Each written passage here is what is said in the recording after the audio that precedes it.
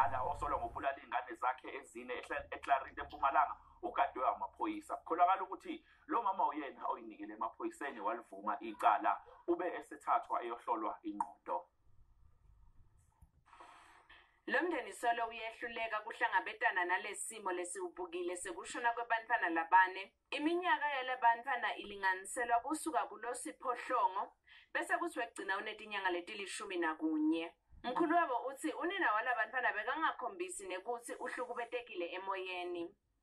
Kuthiwa bekangilojabulile kungakenteki lesimo.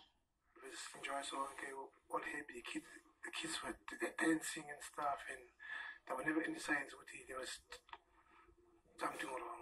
So we, was, we were all shocked and we were going through a lot of pain and stuff. But she never showed anything that she she was suffering. Labantwana banabo babe labathathu.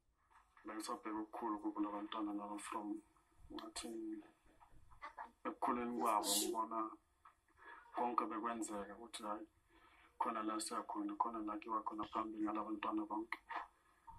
So le simo manje kubuhlungu kakhulu kangangokuthi balahleke bonke. Akekho namunye usele mhlawumbe Kuthiwa lo makwalabantwana ufonele umndeni wakhe wathi awuhambe uyohlola endzaweni labekahlala kuyo.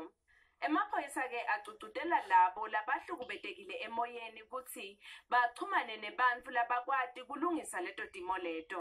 amini izimo sezenzakale kabili kusho khona ukuthi manje sekuningi ngoba impilo lahlekile la abantu abaningi kwamanje so ngakho-ke ngakho singamaphoyisa senza ubizwa ukuthi uma ngabe uyazizwa ukuthi kukhona okuthwele ngaphakathi enhliziyweni yakho ngcono ucele usizo kwabantu abaceceshiwe Leli cala litawubuya enkantolo ngemsombuluko.